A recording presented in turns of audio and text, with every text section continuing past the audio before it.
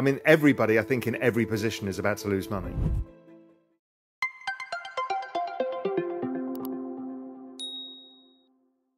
We've had this really complicated macro situation where we had supply chain shocks, which was people can get factories and ships sorted out because people were still in lockdown with COVID. There was a massive backlog of orders, and this filtered through, and that raised prices because everyone, you know, if, if there's a shortage of goods, if you pay more, you get the goods, right? So that rises, that puts prices up.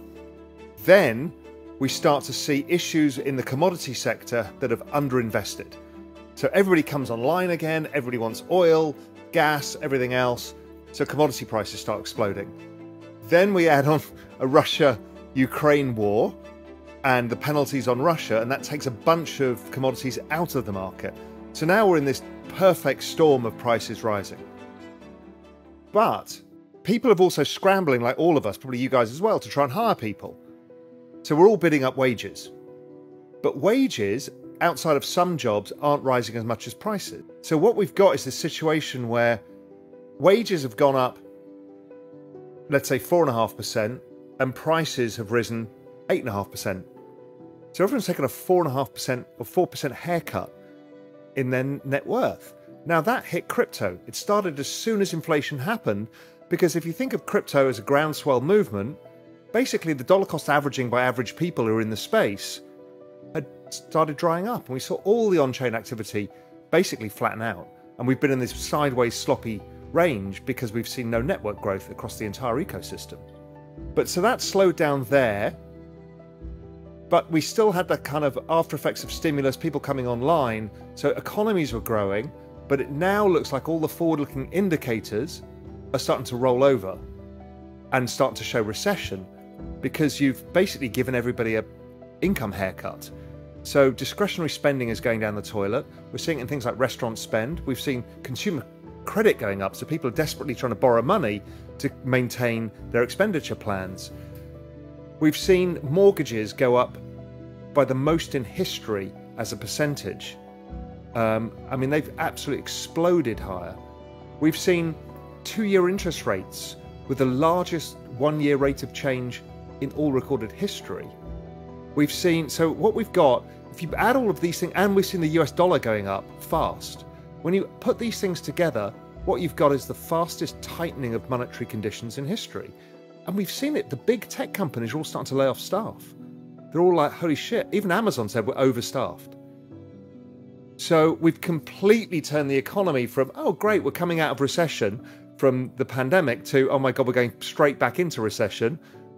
The market's tightened before the Fed even got round to doing it. The market did its job and it stopped economic growth dead in its tracks.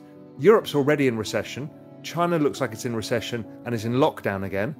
To complicate the picture, we don't know what that means for supply chains. So we might have these. I think inflation falls, and I think the Fed pivot soon. It's like 2018. But 2018, the S&P was down 22%. It's only down about 15, 16 now. So I think there's more pain to come before the Fed suddenly realise that growth's gone and the bond market will tell us that first. It always does. It will yields will start falling, and that will be probably the signal as we had in 2018. Crypto stabilizes, uh, the growth end of equity starts stabilizing because they realise that some stimulus is coming. And so there's a sorry, there's a lot. It's a bit of a monologue, but there's a lot to get through. Now, if inflation is still high-ish, because it's going to take a while to come down, but I think it comes down pretty fast. But let's say it's still at 5% and the economy is now headed directly into recession. What do the Fed do? Well, they're unlikely to purely stimulate because optically that doesn't look right. So my guess is they'll do what Europe's starting to do and Japan's starting to do, which is direct transfer payments that I've been talking about for a while, which is basically MMT.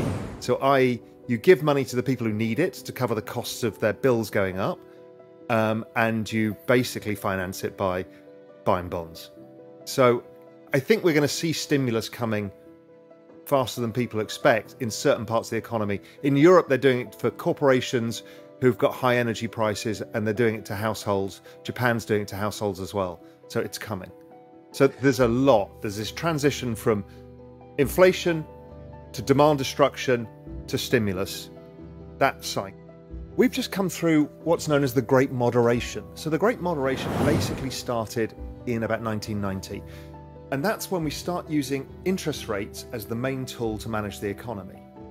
And so, what happened is we dampened the business cycle. So, as soon as the economy got too weak, we would cut rates.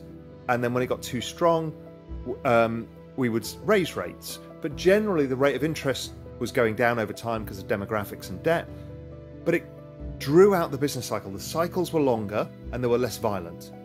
Then we started the first aftershock, which was 2008, but we still managed to moderate. Why? Because we started the use of the central bank balance sheet. That was the next thing. Then the COVID shock came, and I think it broke all of this now. So we now really don't have any interest rates. I don't know what the Fed are going to get to. Maybe they get to two and a half percent. I don't know, but they're not going to get anywhere back to where they would like to have got to what's perceived normal. So we don't really have interest rates to use. And we've got the balance sheet, but we know the downside of the balance sheet. So if we go back to previous periods before the Great Moderation, the economic cycle used to be a three year whiplash. And actually, it was better because you had a market clearing event more often. So we didn't build up the imbalances as much as we did from the Great Moderation. The Great Moderation basically meant that you could use assets as collateral for debt because they were generally all low volatile.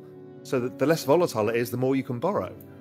This is kind of breaking some of that. So, you know, do we see a great deleveraging? Who knows? I don't think we can afford to because it's gone too far because that's the end of the entire system. So it's a it's a really complicated picture. Um, but I think we end up with negative real interest rates ongoing, um, onward use of stimulus, uh, maybe in a more targeted approach, um, because we can't allow the debt bust, which is why the Fed will pivot soon. The world is the most indebted it's ever been as a percentage of world GDP. The US is the most indebted country as a percentage of world GDP of any country in all economic history. All of that is against the collateral. So you borrow money against something. So you borrow money against your shareholdings, you borrow money against bonds, you borrow money against your house. So if you allow the price of those assets to fall too far, well, your debt gets liquidated. And we can't allow that because it's too big. I mean, these are hundreds of percent of GDP. So you basically could destroy everything. So that's why we need to be super careful. That's why the central banks panic and buy things like if you look at the uh, in the pandemic, they started buying mortgage bonds and they bought corporate debt. It's because if you allow that stuff to go bust, the whole system's blown up. That's nearly what happened in 2008. So they can't allow it, which is why we're in this weird mess where they keep debasing the currency because that's the only answer they've got, which is one of the reasons that we all own crypto. I think the oil market needs to break because that's the headline inflation thing that real rates have been following and it feels like it's starting to happen now, but it needs to break a bit lower. And then, you know, if the oil market comes down to $70 or so, that's going to ease a lot of people's fears because this Russian fear is in everybody's minds, the oil market. So if that happens, I think that happens first. The dollar is helping bring down inflation. The next part is the bond market will tell us. It always does. The bond market, much like 2018, there was that final panic in 2018, in December 2018, where the equity market puked. We had higher inflation, the dollar was going up, then the oil market broke, um, and then finally yields started rallying, and that was the signal that the Fed were going to pivot because the bond market does the job for them. So if, if the bond market raise the rates, the bond market's going to ease them too. But it's just not got there yet, so it's very close. And I think we'll see. So far, we've been seeing yields going up and equities going down and soon we'll see equities going down and yields going down. Then we've got to the signal that we've probably that the market's going to start pricing in the other side of the cycle, which is the stimulus. So inflation is the rate of increase in prices, and debasement is the devaluation of the purchasing power of a currency. What most people are observing is debasement generally, we've been observing. That doesn't affect the bond market. Does the US go into default? No. Does it increase the headline rate of inflation? No. The, the rate of inflation goes up because of what's just happened with supply chains or In the 2000s, it was because of China coming on the market as a demand shock.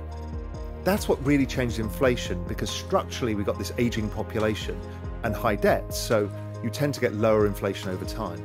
So I don't think it's a bond market bubble. It is a financialization bubble, i.e., a debt bubble, but I think that drives interest rates lower, not higher, because what happens is you lower the trend rate of growth of the economy because of debt. So each dollar of debt you take out, the less increase in GDP you get for it. So that's an over leveraged economy with a bunch of old people. You can't generate that kind of thing. You can't generate that kind of growth. So I don't think that we're in a bond market bubble. I think we're in a debt bubble. That's a different thing. You know, is the US going to default on its debts? Well, they're going to do it not by not paying them, they're going to do it by debasing the currency, which is a whole different issue. Um, so, yeah, so I don't agree with Dan. Um, I don't think that the bond market becomes unhinged because the central bank just buys it and they just lower the value of their own currency. So Japan has been doing that. Japan has been buying its bond market to stop yields going too high, and what happens is the yen collapses.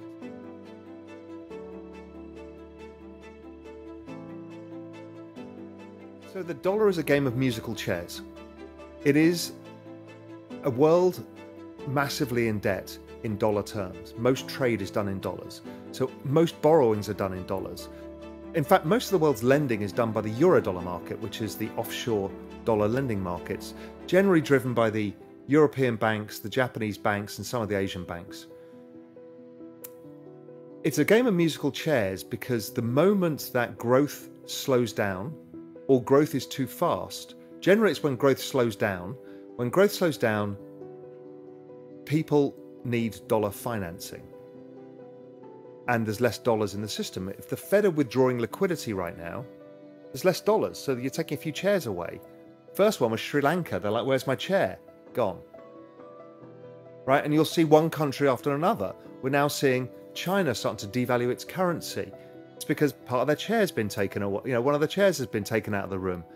So that's what happens is there's too much dollar borrowings, and in a slowdown, people need more debt, and there's not enough debt being given out because the Fed are taking um, supply out of the market. In the other side, the dollar goes up. It's the dollar's got a smile. So if the world is growing, generally the US has been the kind of leading world economy in terms of where you want to put your capital. So in a growing world, the dollar tends to do pretty well. The dollar does very well in a slow world. The dollar does terribly in a kind of muddle through reasonable growth world.